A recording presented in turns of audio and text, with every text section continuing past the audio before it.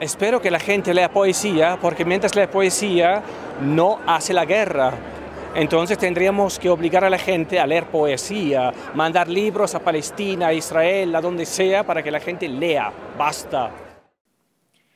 Marcus Ediger nació en Suiza. Estudió literatura francesa e italiana. Ha traducido al alemán libros en francés, principalmente novelas, cuentos y poesía. Ha traducido 20 libros de escritores suizos de lengua francesa. Ha escrito poesía desde siempre, no en alemán, que es su lengua materna, sino en francés. Publicó su primer libro de poesía en 1996, al que llamó No den vuelta la piedra. Su segundo libro de poemas, titulado De este lado de la luz, salió en 2009 y el tercer libro, Una plaqueta para que alguien se acuerde de ti, en 2013.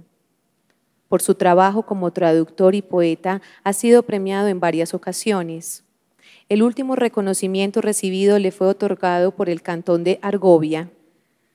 Ha residido a lo largo de su vida en Suiza, Francia, Alemania, Italia, España y Argentina, países que considera, al igual que a Suiza, su hogar.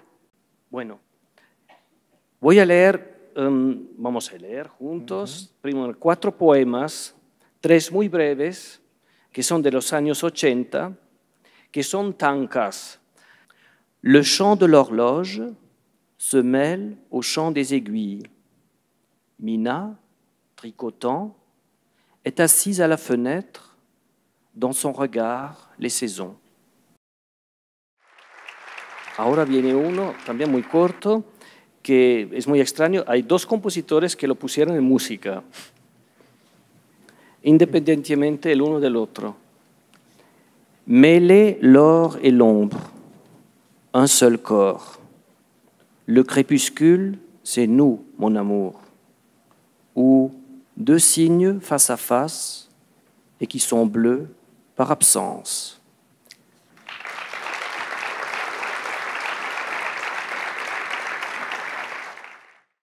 Ay, por Dios, es una cosa increíble porque es emocionante. Es que eso no existe en ningún lado del mundo.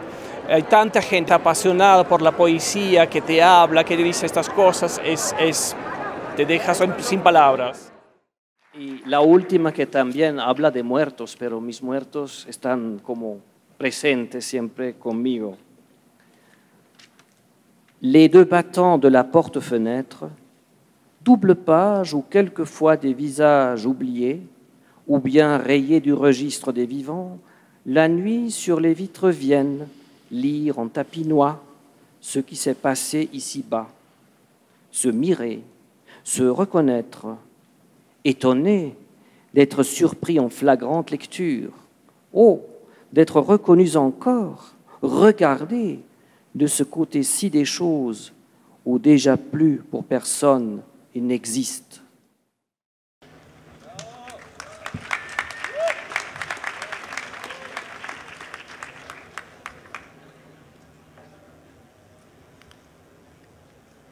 Muy buenas tardes, Medellín.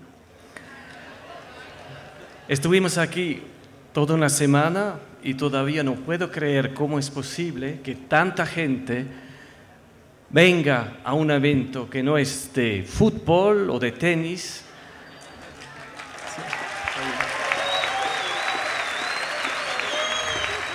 sino para la palabra, la poesía.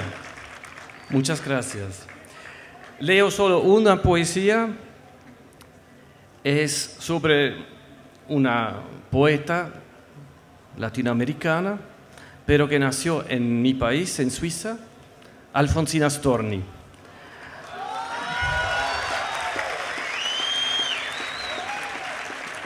Hay poetas en Suiza que dicen que la mejor poeta la exportamos.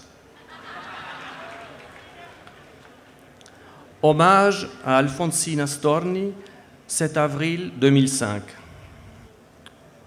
On sait que c'est ici même que la mère, combien par elle aimée, a déposé sa dépouille, désormais de douleur dépouillée.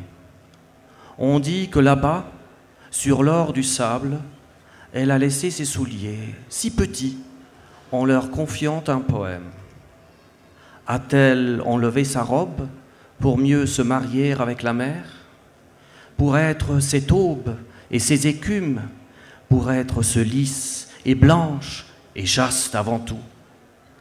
Elle a peut-être marché le long de la plage ce soir d'octobre, avant de rejoindre son gros poisson d'or qui la salue d'un bouquet de coraux rouges, son poulpe au clin d'yeux plein de sourires. Et l'on sait, Alfonsina, que vous dormez pour toujours au fond d'un lit un peu plus bleu que la mer. Muchas gracias.